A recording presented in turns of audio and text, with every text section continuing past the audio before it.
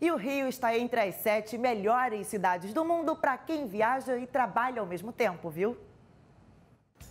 Um mês nos Estados Unidos, outro no México e depois, quem sabe? Essa é a rotina dos nômades digitais, que escolhem viver viajando enquanto realizam suas tarefas. O Diego é argentino e vive assim desde 2020, quando acabou o contrato de aluguel do apartamento em que morava em Buenos Aires. Dá para trabalhar e turistar. Pela manhã eu chego aqui no cowork e depende se tem sol, eu faço coisas rápido e vou para a praia, eu tento curtir. O Rio de Janeiro é a única cidade brasileira que aparece em uma lista feita por uma empresa de coworking como um dos melhores destinos para trabalhar remotamente. Em sétimo lugar no ranking, a cidade maravilhosa se destaca pelo clima, sistema integrado de transporte e pela variedade gastronômica. Os nossos parceiros têm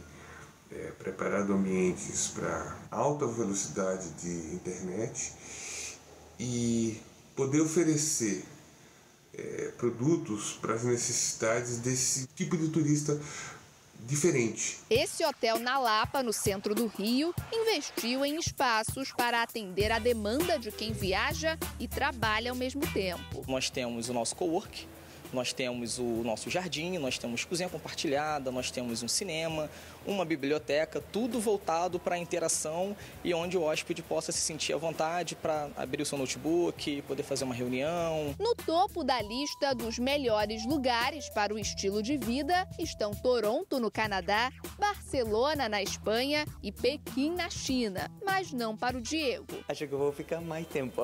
Agora tu tem pensando em deixar ser nômade para ser carioca. Que beleza, hein?